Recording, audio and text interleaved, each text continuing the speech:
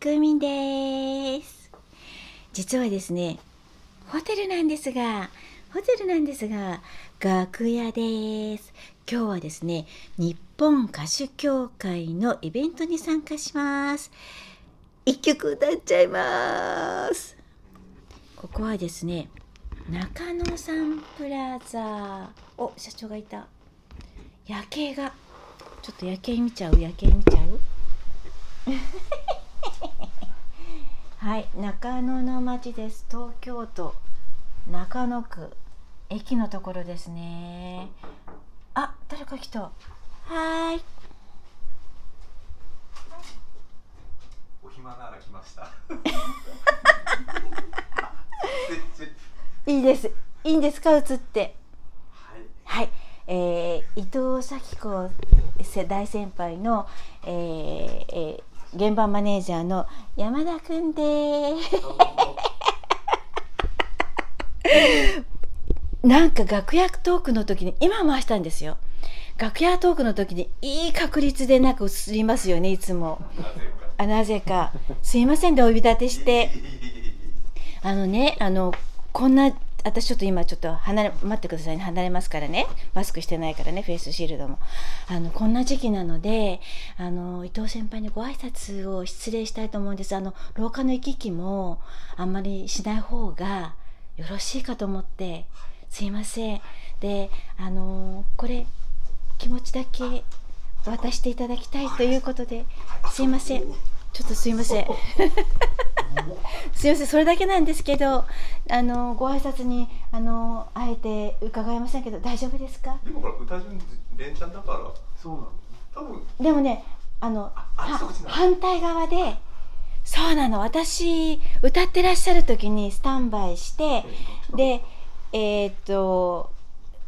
はけられて帰られたら私が歌ってで楽屋も全然違うあの出演者が多いもんですからこのホテルの方にね私楽屋を取っていただいてるのでなのですいませんもうご無沙汰しておりますけどどうぞよろしくお伝えくださいませ。ああれあれたらご挨拶。はい。とはい。ここちらこそあのもしあのはいすれ違うようなことがございましたななるだけ早めには行こうと思うんでございますけどこんな時期でございますので皆さんの迷惑かからないようにしますのありがとうございます。すいませんお呼び立てしてお忙しい時に。まあそんな理由でちょっとご挨拶にあのあえて伺いませんけど失礼しますとお伝えくださいませ。なんかお腹に入ってるんですか？お腹に入またまたまたまた社員いじめしてるぞ。あ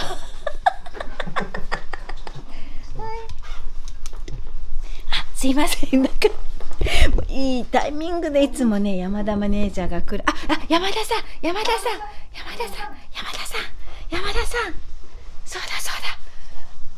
ちょっと。ちょっとちょっと。来た。いなくなった。さんの野菜いっぱい箱ごとありがとうございます。もうねお茄子やらキウイやらもうピーマンやらゴーヤやらもう今日たくさんいただいたんです。すいませんお忙しい。ありがとうございました昨日持ってってと思ったんだけど遅くなった。すいません。ありがとうござい ありがとうございました。すいません。お呼び立てして。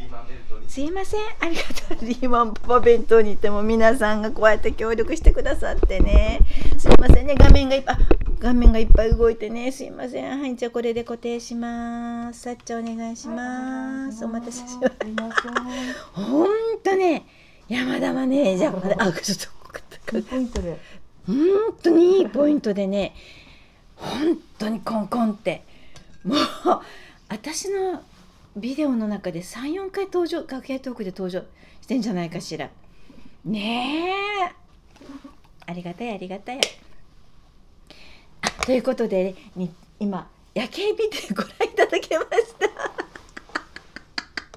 ね、であの中野サンプラザがもう老朽化ということで、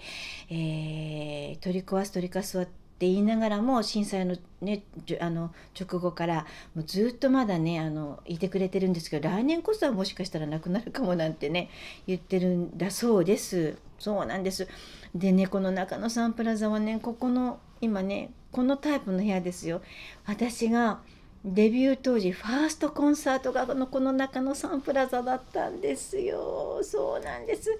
あの一部をですねえっ、と「五つの鍵」っていうミュージカル仕立ての、はい、歌をやりましてで、え2部構成ででもうその時まだデビューですからそんなにあのヒット曲っていうかその曲数がなかったから A 面 A 面 B 面デビュー曲の A 面 B 面とその時アルバムで出たんだな。あ5つの鍵があるから出たアルバムの曲とぐらいしかなかったのでそうなんです。それであの私のプロデュースしてくださった歌をね歌いなさいって言ってくれたプロデューサーがなんとなんとディズディズニーランドちょっとなまっちゃった。ディズニーランドのですね音楽の葬式やったり劇団四季の音楽担当なさったりもちろん今ちょっとあのお話出ました伊藤咲子先輩のプロデューサーさんだったりそのプロデューサーが越路吹雪さんのプロデューサーさんだったりそのプロデューサーさんが私にね歌を出せたんですよ。コマーシャルをやりましてね。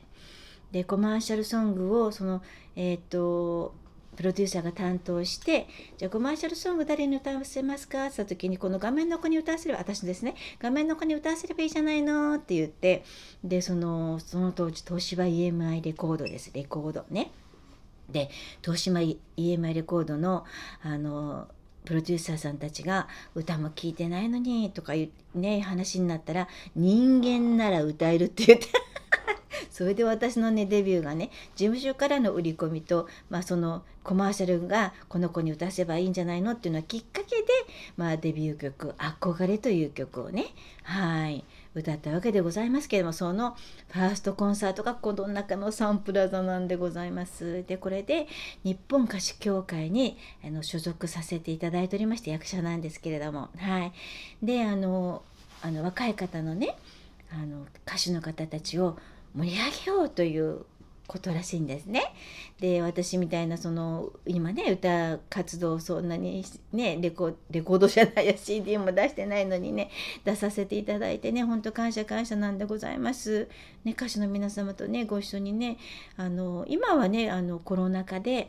あのオープニングとかエンディングとか勢ぞろいでずらっと並ぶことがないんですけどももう何百人っていう方が2日間でも今日3公演私3公演ラスト公演って言ってたな3公演1日で3公演やってるってすごいですよね。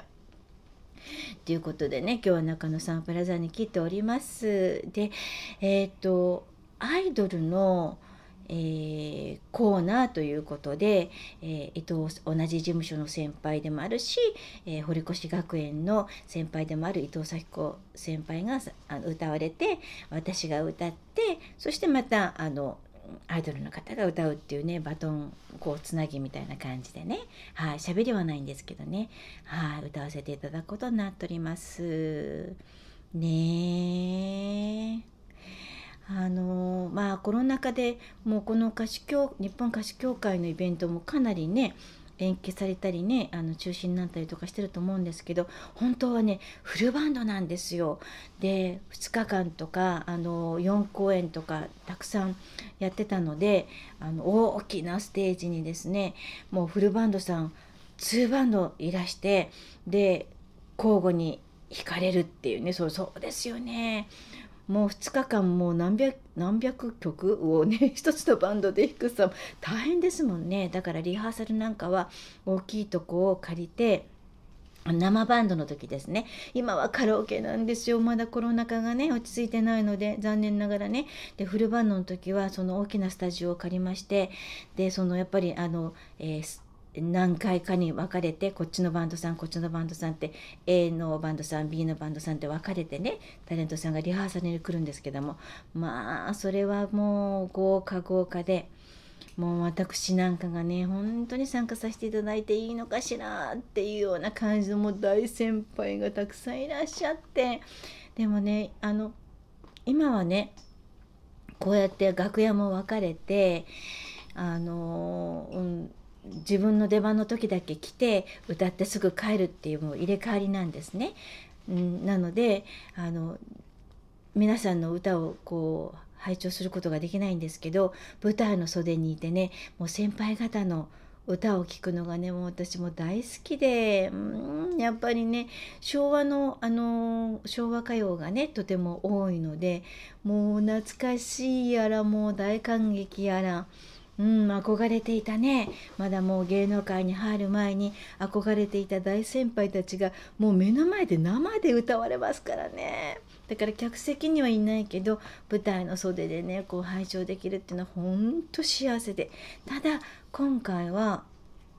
ちょっとねあのえー、と伊藤咲子先輩の次なので伊藤咲子先輩が歌う頃には袖についてで伊藤咲子先輩と出る側と反対側に回るので合わないと思うんです。なんですが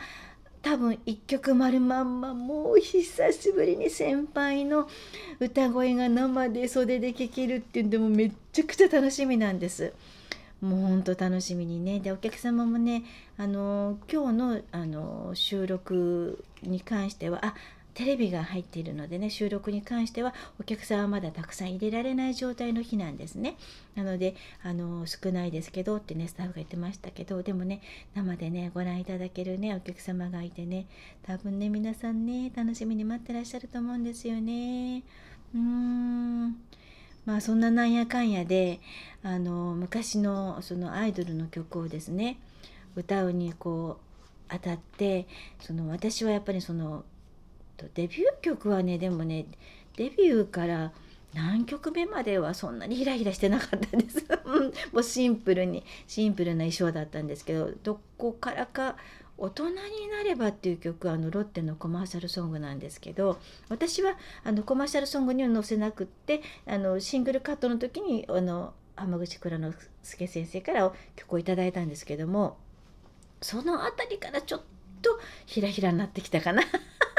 でコメントさんあたりで結構ヒラヒラヒラヒラ。でイメージカラーがですね黄色だったんですね。あのコメントさんが黄色っていうこともあるんですけどもともと私の歌のこうねイメージキャラあの色イメージカラーが黄色だったんですね。でねその当時はねアイドルにねみんなねあのキャッチコピーってのついてたんですよコマーシャルのようにね。私はね1億人の妹かいかいちょっとすいませんがです かいかいかいかいさっちゃんかいかいかいかいねえ1億人の妹ねそういえば私小さい時なんか億万長者みたいな海外のドラマ見てなんか すごいな億万長者ってなんてもドラマ見てたけど今はね普通にね億万長者の方たくさんいらっしゃるからね。ねえ。まあそんななんやかんやであの思い出の中野サンプラザにやってまいりました。ね両親もねあの見に来てねあのうちの父がね涙もろくてねそこのまあここの全くない同じ部屋ではないと思うんだけど同じ携帯の、ね、部屋にね入ってくるなりねなんかね「いいいい」とか泣いてましたね。ファーストコンサート見てね。そうそう。まあでもその時はねちょっと親孝行ができたかなって思いましたね。うん。なのでちょっとね前髪をねパツンと切ってるのでここ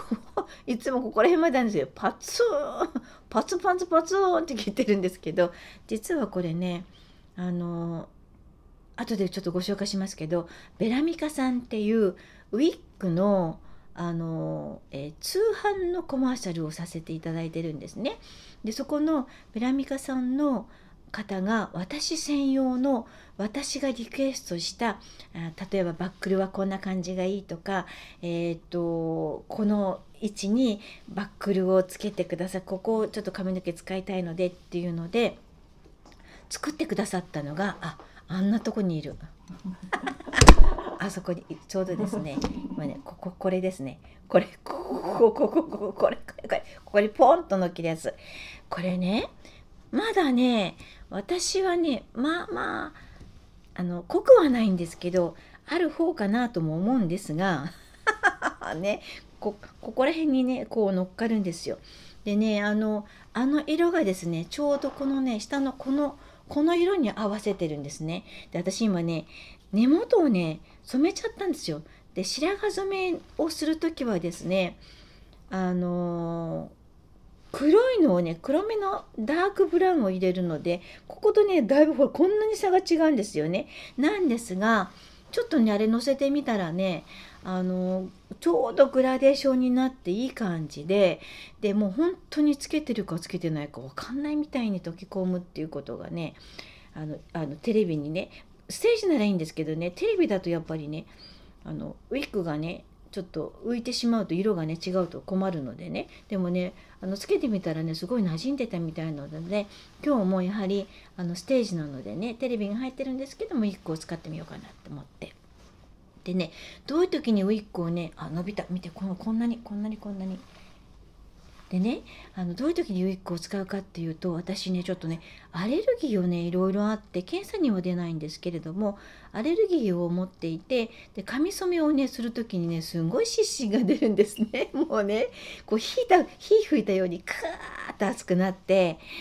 でもうあのどうしても染めなきゃいけないけどもアレルギーが出てしまって重なってしまって染められないあ染めたくないあどうしようっていう時に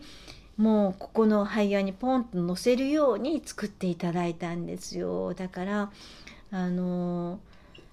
えー、ステージでちょっと豪華に見せたい時とあとはあの白髪染めができない時間に合わない時にもう簡単にポンポンポンってつけてでさっちゃんにちょっとこうなじませていただいて使ってるという。とはい、じゃちょっとね後でね乗っけるところをねご覧いただきたいと 乗っける それであそう。ちょっと私話が長すぎるのよね。話がね。あのねなんでこのねブチュってねこの短くしたかっていうとここに乗っけて前髪をこうやってあのカラーのトーンが明るいやつを乗せるのにここ乗っかるとこれがねベッて押さえられちゃうんですよね押さえられるとここまでね 私前髪ここにあるとここまで目が隠れちゃうのでちょうどこのぐらいもうパッツンってしといてこう上にウィッグを乗せるとこれがちょうどいいっていう長さのパッツンなんですよそうなんですね。でちょっとここのとこねあのテレビの収録とかねあのこういうねイベントとかがね続いたのでねはい。ウィッグをね使ってます。これでまたねあのいろいろ染め直したりとかするとねあの色も変わるので向こうも変えなきゃいけないんですけど今ちょうどここの色に合ってるのでグーでございますね。はい。ということでじゃああのえっ、とですね他の動画でもですねこのウィッグを載せているところをね撮った動画がございますので、ね、今日はですね時間飛ばしをしてねステージ衣装を着ていつもねあのステージ衣装を着るとこまでね動画を撮ったことが多分あんまりないと思うのでステージ衣装を着たところまで時飛ばしをしたいと思います。それでは。あバトン今日バトンないんだ。えー、サンバホッスルもない。あ何を歌うか分かってしまいますね、えー、サンバホイッスルのスプリングサンバでもない。はい、えー、バトンを回すキラキラ星あげるのコメットさんの主題歌でもないってバレてしまいましたね。さあ何の曲を歌うのでしょうか？それでは時間飛ばし。ありがとうございます。はいできました。これから本番行ってきます。本番はですねフェイスシールド舞台場際までします。こんな髪型はこんな感じです。こんな感じです。はい全身こんな感じです。雨が回った。